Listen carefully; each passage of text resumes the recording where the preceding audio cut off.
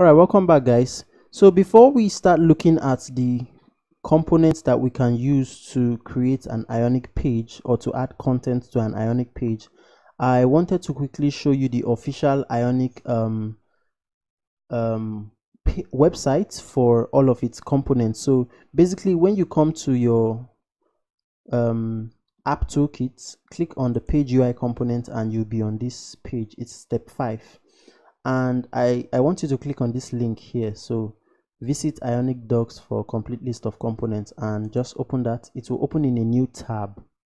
Okay? So basically it's this page is the official ionic page that contains all of the components that are you know available in ionic. Components are just you know things that help you build your page okay and add functionality to your page okay? So there are quite a number of them like there are okay well not so much but there are different ways we can actually use all of these components to style our pages okay? Now many of these components like a number of these components you would actually need to know how to program to use them okay?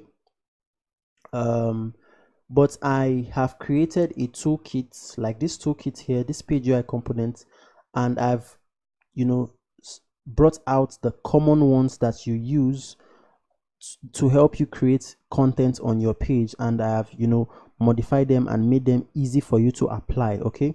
So in the subsequent lectures I'm going to be making reference to these two app toolkits and we're going to be seeing how we can add components to our page um, just by you know clicking to copy and then modifying the content of the components on our app all right so I just wanted you to know that there is the official ionic page that contains all of the components. And if you want to know more learn more about ionic you can actually come here and do your research. All right so thank you so much and see you in the next video